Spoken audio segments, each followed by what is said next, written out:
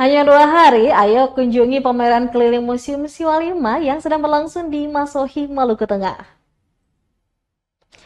Museum Siwalima Ambon menggelar pameran keliling di Masohi, Kabupaten Maluku Tengah.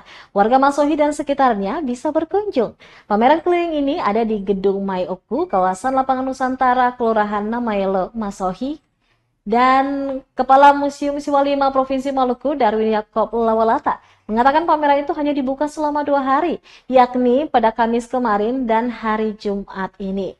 Adapun terkait alasan dibukanya pameran tersebut untuk mengkomunikasikan koleksi dan data yang ada di museum kepada masyarakat, maka museum melaksanakan kegiatan pameran baik pameran temporer maupun pameran keliling.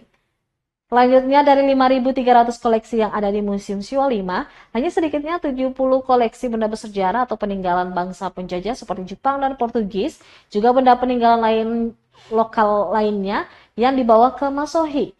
Kegiatan ini didanai pemerintah Provinsi Maluku dan akan berlanjut di beberapa kabupaten lainnya seperti di Kabupaten Maluku Barat Daya. Yang dilaksanakan oleh Kementerian Pendidikan dan Kebudayaan hmm. dalam hal ini eh, kita punya anggaran yang diberikan terkait dengan gangguan fisik yang harus kita laksanakan di 11 kabupaten kota.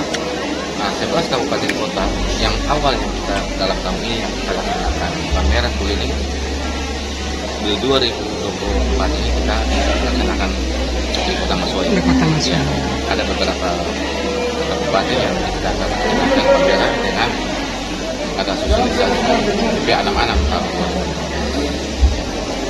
Oke, uh, setelah Masoi ke mana lagi ya. rencananya? Rencananya untuk pameran berikut kita akan laksanakan di Kabupaten Maluku Barat Daya di dalam tahun anggaran yang sama? Iya dalam tahun anggaran yang sama. Pak uh, uh, benda-benda sejarah apa sih yang dibawa ke sini tuh untuk dilihat? Iya ada beberapa.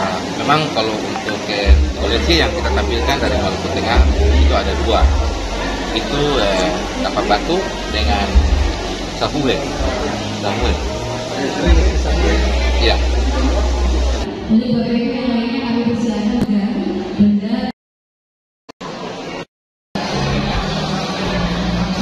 Sekali lagi mohon. Download Tribun X sekarang. Menghadirkan lokal menjadi Indonesia.